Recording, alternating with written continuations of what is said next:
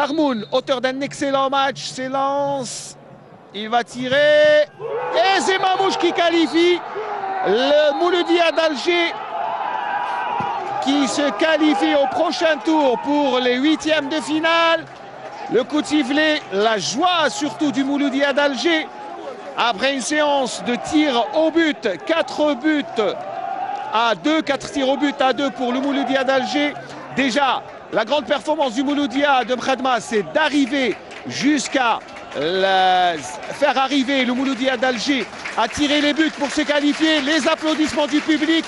Grande, grande prestation du Mouloudia de Mkhadma.